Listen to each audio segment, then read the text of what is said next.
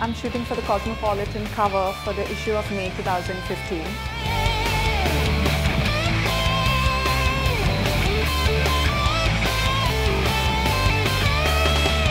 The editorial story here is to do with a lot of tropical prints, a lot of pop colors, a lot of fun and a lot of water, balloons and uh, you better watch out for this because it's a fun issue.